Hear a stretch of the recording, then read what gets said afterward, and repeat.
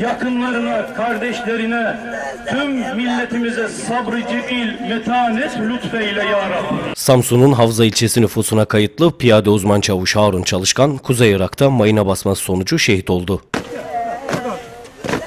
Abi sen abi.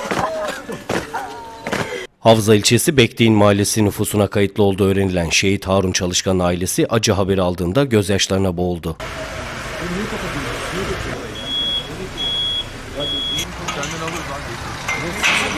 Hakkari'de düzenlenen askeri törenin ardından piyade uzman çavuş Harun Çalışkan'ın naaşı askeri uçakla Samsun'a getirildi.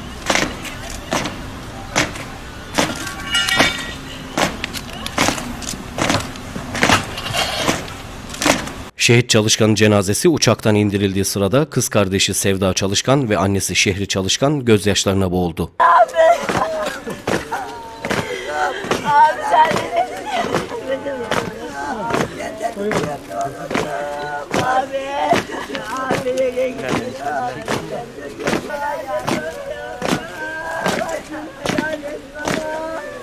Şehidin babası Recep Çalışkan ve iki aylık hamile olan eşi Dilek Çalışkan sağlık durumları nedeniyle törene katılamadı. Dinle cemalinle müşerref eyle.